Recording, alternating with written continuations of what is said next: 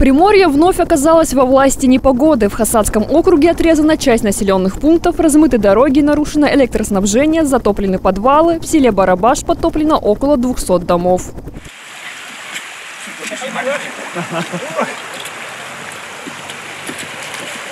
Шестьдесят девять лет. Родился здесь. Вот такой воды первый раз. В ночь на 30 августа здесь уже работали спасатели, МЧС, в том числе аэромобильная группа Амурской области. Помогали и местные жители, женщин и детей эвакуировали на резиновых лодках и высокопроходимых машинах. Где-то в 4 утра начали звонки. Э, В основном частный сектор начал тонуть. Улица Суханова, Пушкина. Э, Вывезли около 50 людей вот за вот эти два часа. И еще сейчас нужно ехать, еще на крышах, на чердаках сидят.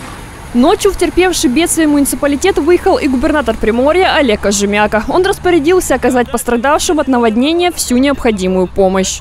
Сейчас здесь организован пункт э, временного размещения. В ближайшее время будет организовано горячее питание э, через школу, но необходимо наладить э, подачу электроэнергии, поэтому оборонэнергия должна срочно принять все меры к тому, чтобы восстановить электроснабжение. Здесь э, и связь работает только э, через мегафон. Завтра, как сойдет э, вода, с завтрашнего дня, с послезавтрашнего начнет работать комиссия по оценке пострадавших людей. Всем людям, кто пострадал, будет оказана необходимая помощь, единовременная выплата, выплата за ущерб.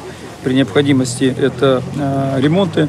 Также, по словам главы региона, в данный момент на федеральном уровне прорабатывается закон, который позволит предотвращать подобные чрезвычайные ситуации. Суть его состоит в том, чтобы передать регионам полномочия чистить русло рек. Принять закон должны уже этой осенью.